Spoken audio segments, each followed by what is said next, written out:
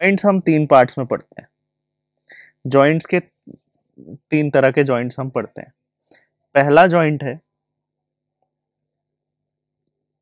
Fibrous joint दूसरा cartilaginous joint तीसरा synovial joint देखो, जब भी कोई क्लासिफिकेशन करते हैं तो on the basis of something करते हैं। ऐसा है कि नहीं है?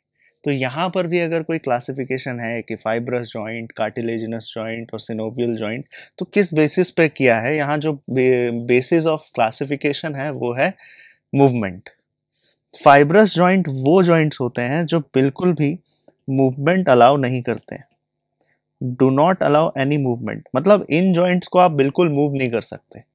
This type of joint is shown by the flat skull अब एक बात बताओ स्कल में जितनी बोन्स हमने पढ़ी क्या स्कल में जो बोन्स हैं, क्या उनको, वो एंड टू एंड फ्यूज है।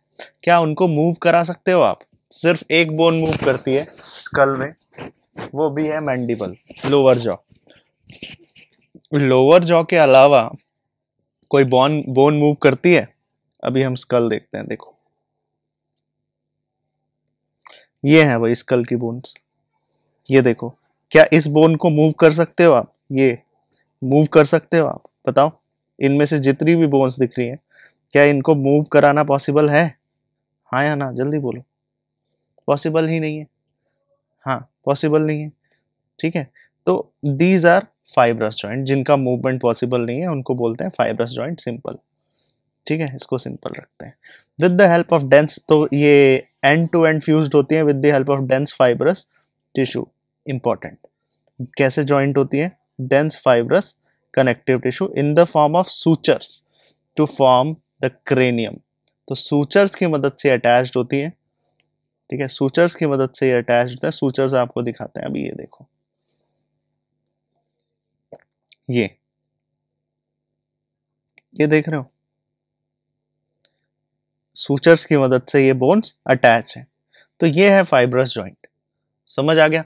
कि ये जो फ्रंटल बोन है, ये पेराइटल बोन से अटैच्ड है।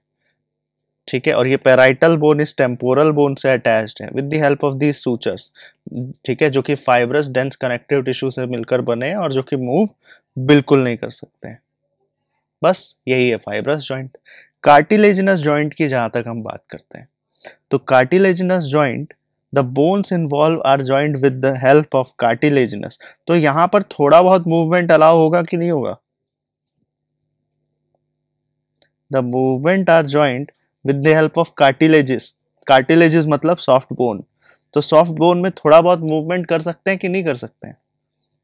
कर सकते हैं।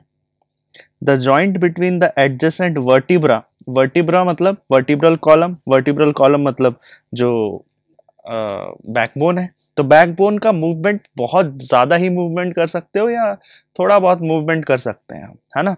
तो vertebral column is the example and it permits limited movement right synovial joints are characterized by fluid filled synovial cavity flu मैंने बताया था ये सिनोवियल फ्लूड फिल्ड कैविटी कहाँ पर होती है? किसी को याद है? मैंने बोला था पैटला में होती है जिसकी मदद से आ, वो जो दो बोन्स हैं वो अलग अलग रहती है ना? तो आर्टिकुलेशन ही फ़ंक्शन है मूवमेंट ही फ़ंक्शन है तो सबसे ज़्यादा मूवमेंट अगर कहीं होगा तो वो कहाँ पर होगा? सीने सिनोवियल जॉइंट में होगा। उसके, उससे कम कहाँ होगा? कार्टिलेजिनस जॉइंट उससे कम कहाँ होगा? फाइब्रस जॉइंट तो एग्ज़ाम्पल साथ के साथ याद रखना है। एक एक चार्ट बना के याद रख लो ना यार, क्या मुश्किल है। जैसे हम एक चार्ट बनाते हैं। देखो। ये हो गया।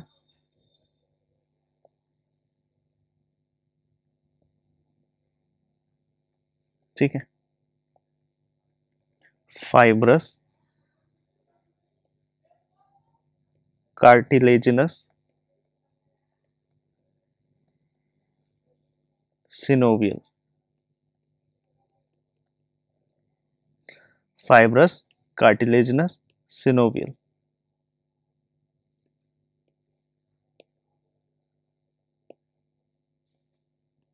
fibrous cartilaginous synovial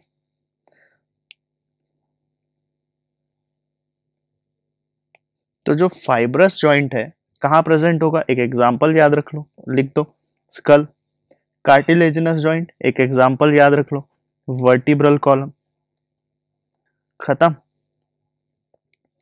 और सिनोवियल जॉइंट एक एग्जांपल याद रख लो। Synovial joint ball and socket joint जो प्रेजेंट होगा कहाँ पर?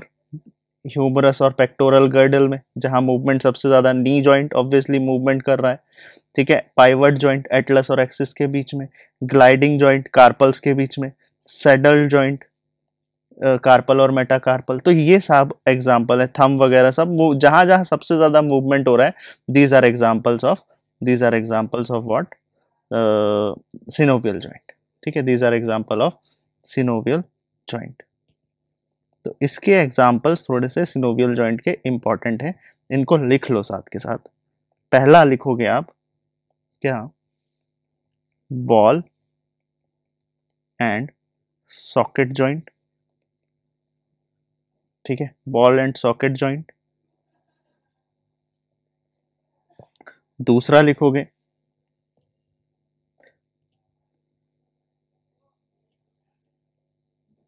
हिंज जॉइंट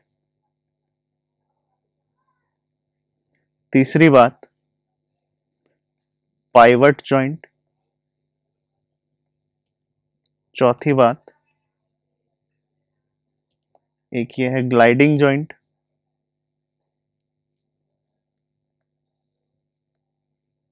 ठीक है, पांचवा सेडल जॉइंट पांचवा सेडल जॉइंट तो ये ये पाँच जॉइंट्स है, ठीक है? ये पाँच जॉइंट्स हैं जिनके एग्ज़ाम्पल आपको याद रखने ठीक है? Which are mentioned in NCERT